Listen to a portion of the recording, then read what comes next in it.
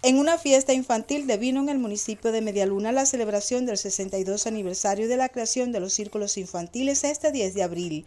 El programa inició esta mañana en el Parque de los Mártires con un desfile de bandas representativo de los tres modos de atención, Educa a tu hijo, grado de preescolar de las escuelas primarias y el Círculo Infantil Sonrisas al Mundo, con un hermoso trabajo que demuestra la preparación de los pequeños para la vida escolar.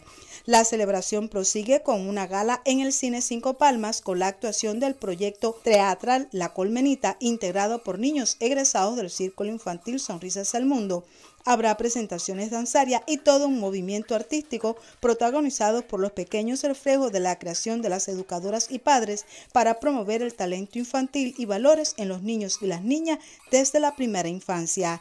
Los círculos infantiles, iniciativa del líder histórico de la Revolución Cubana y Vilma Espín, fueron creados para beneficiar a los hijos de las madres trabajadoras, favoreciendo la integración plena de la mujer a la sociedad. En Media Luna fue inaugurado por el líder histórico el 18 de diciembre de 1986. Desde entonces han mantenido un sostenido trabajo en la formación integral de los niños y las niñas desde edades tempranas. Mariela Fernández para el Sistema Informativo de la Televisión Cubana.